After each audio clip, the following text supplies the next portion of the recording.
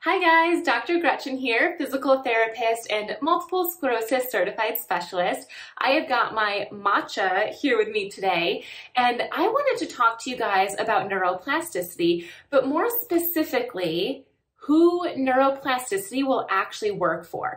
I will give a brief overview as to what neuroplasticity is, but I do have another video all about it. I'll post it up here in case you want to watch that.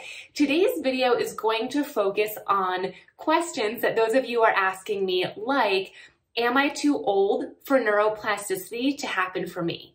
Or has my disease progressed too much and therefore neuroplasticity won't happen for me? I get these questions all the time where you're hopeful that neuroplasticity will help, but at the same time you feel like it's not going to work for me. So I'm going to answer those questions for you right now.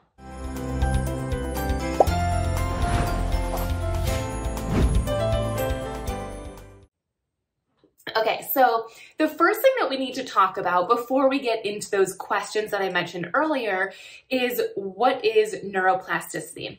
I love talking about this topic because neuroplasticity truly is the reason that someone with MS can get stronger, walk better, improve your balance. I know it often sounds too good to be true, but it is a proven thing that happens uh, even in people with multiple sclerosis. And when I'm giving keynote speeches, one thing I love doing is asking the audience to raise their hand if they have heard of neuroplasticity. And then I will ask them to keep your hand raised if you know it so well that you could explain it to someone else. And usually 90% of people's hands go down. And I think it's so important to understand what it is to a point where you could explain it to someone because that's how you know that you truly understand what it is.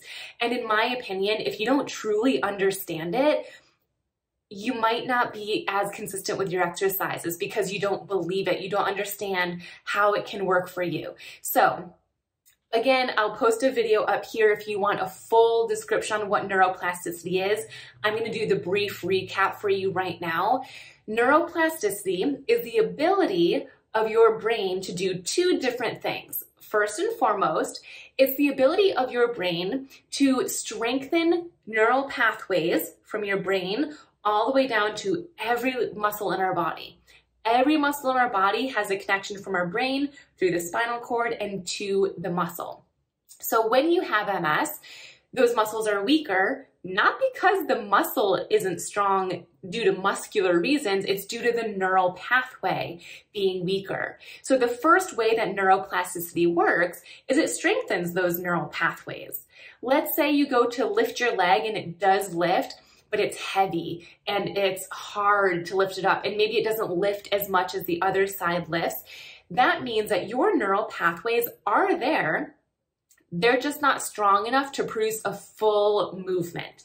So in that case, when you do your exercises, your brain is trying to strengthen those neural pathways.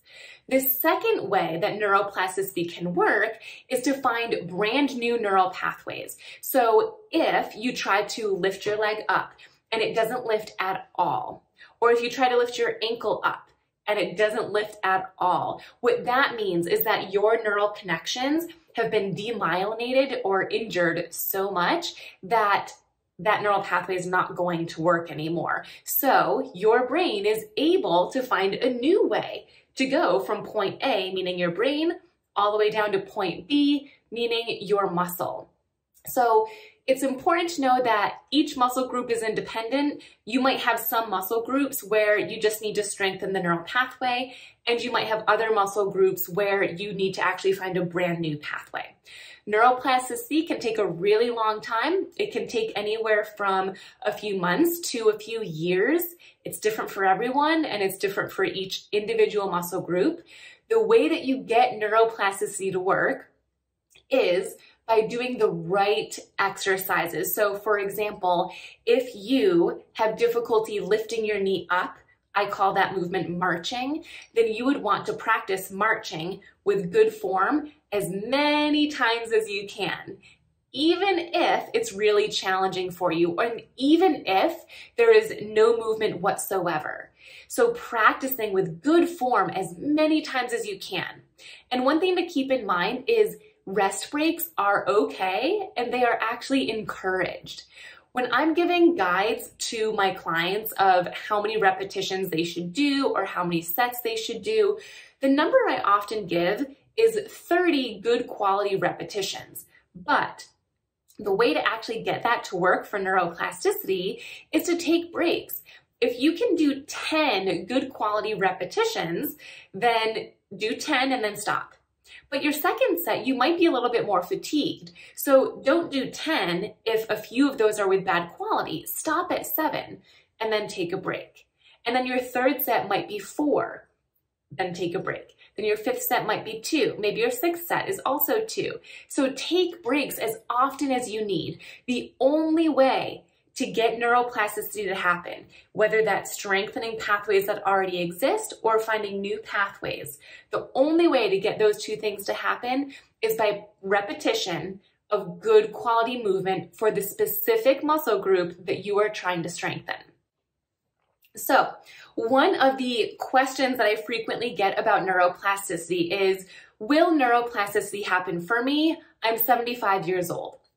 Or, I have had MS for 40 years. Will neuroplasticity still happen for me? So, if you've had this question before, whether it's related to your age or the length of time that you have been diagnosed with multiple sclerosis, or this is often different, the length of time that you've been having symptoms from MS, my answer is it doesn't matter.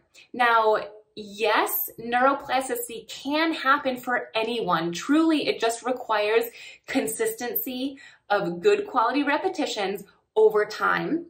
And as I mentioned, for some people that might occur in a few months, for others it might occur after a few years. So it does require consistency.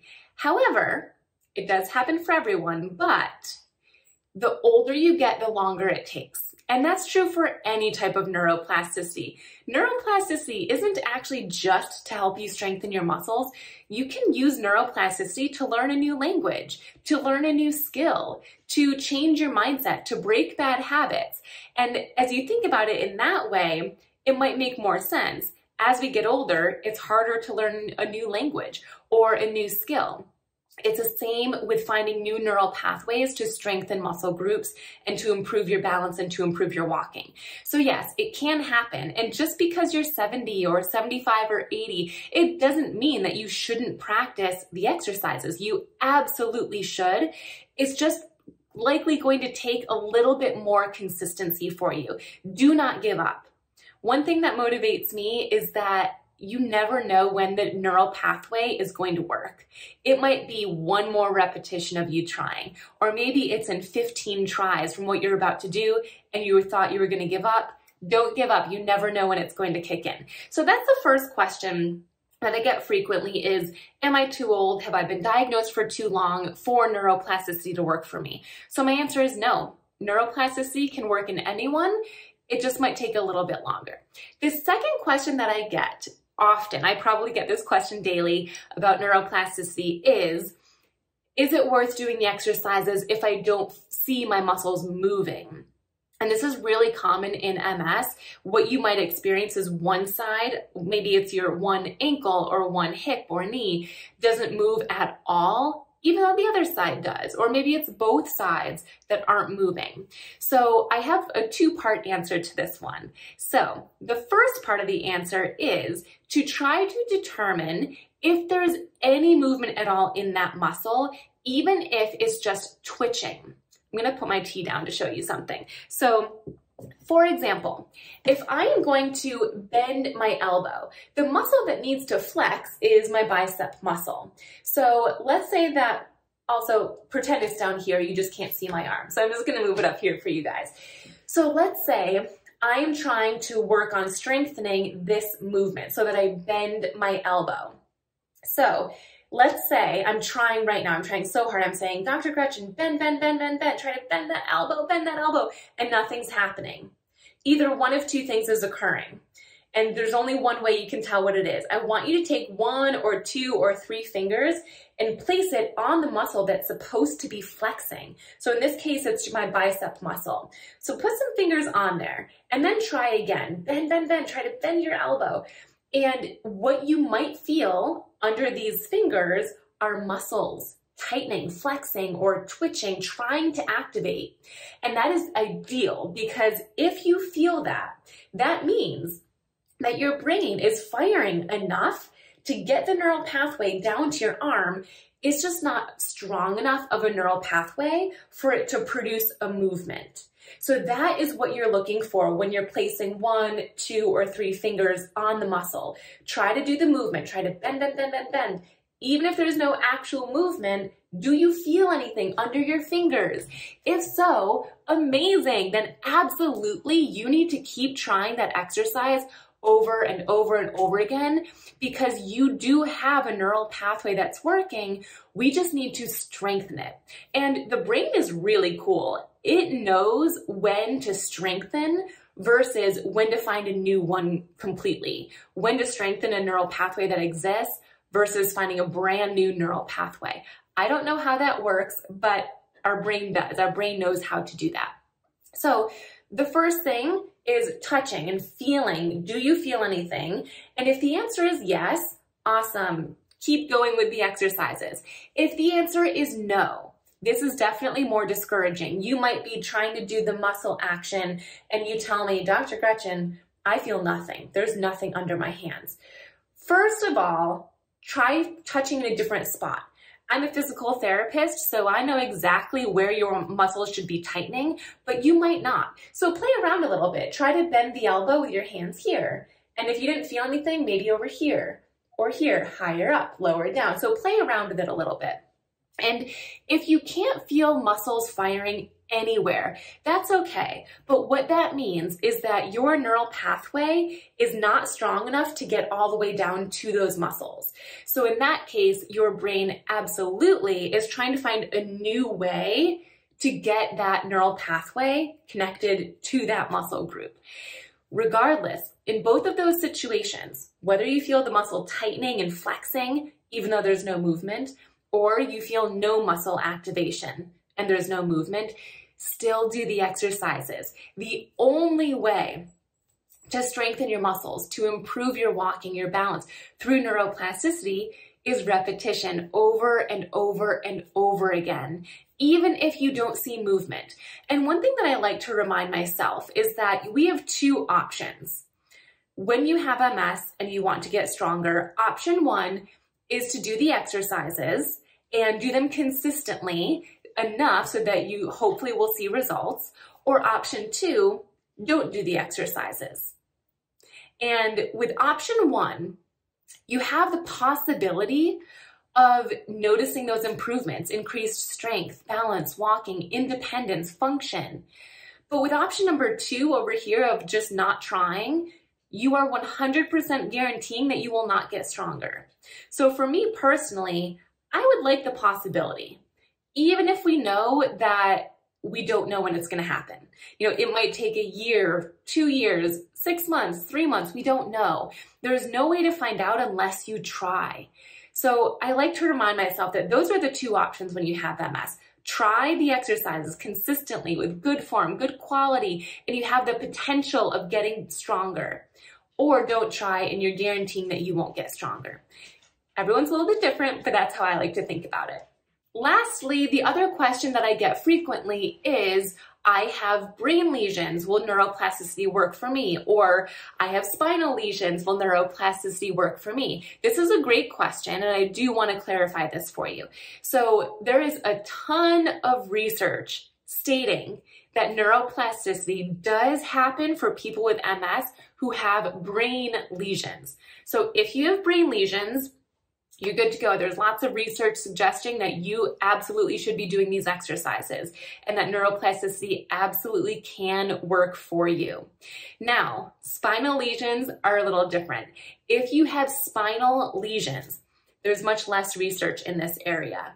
And I have asked as many MS neurologists that I know what their thoughts are on neuroplasticity for spinal lesions. And the general consensus is that we don't know if neuroplasticity works for those with spinal lesions or not. And so in that case, there's no negative side effects to acting like it will help. So again, going back to those two different options of exercising with that possibility of improving or not exercising and guaranteeing that you won't improve. When it comes to spinal lesions, those are still your same two options. There's less research, so we don't know. But imagine in five years from now, there might be research, convincing research, stating that if you have spinal lesions, neuroplasticity actually does work for you. How bummed are you going to be if you spent five years not exercising because you thought it didn't work, because research said that we didn't really know what was going on there? So, of course, I'm a little biased because I'm a physical therapist, but regardless of if you have brain lesions or spinal lesions, or if you are over 65 years old or younger than 20, or how long you've been diagnosed with MS, everyone, everyone should be exercising consistently and with good quality being the main focus. Now, depending on where you're at with your MS journey, you might be thinking, I can't exercise, I'm, it fatigues me too much, or I don't even know what exercises to do, or it's my knee, not my elbow. Remember that the elbow is just a guide for today because you can't see my legs right now. But everything that we talked about, even though I demonstrated with my elbow, occurs for the hips, the core, the knee, the ankles. If you do feel a little lost, if you feel like, okay, you've convinced me, I'm excited to exercise, but I have no idea what exercises to do.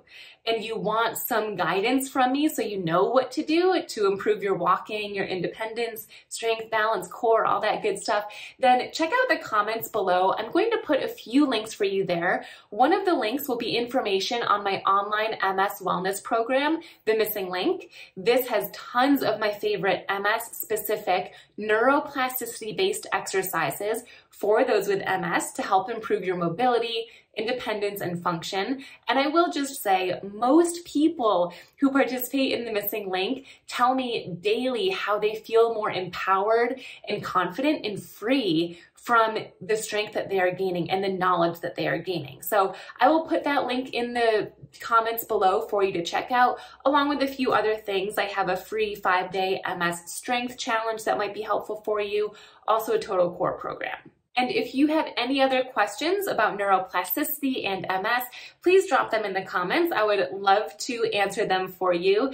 These are questions I get super often. Am I too old for neuroplasticity to work for me? Have I been diagnosed too long and I have brain or spinal lesions? So what does that mean for me? So I hope you're feeling a little bit more clear. Again, check the comments for any links for MS specific exercises. And if you have any questions, drop them below. Thanks for tuning in.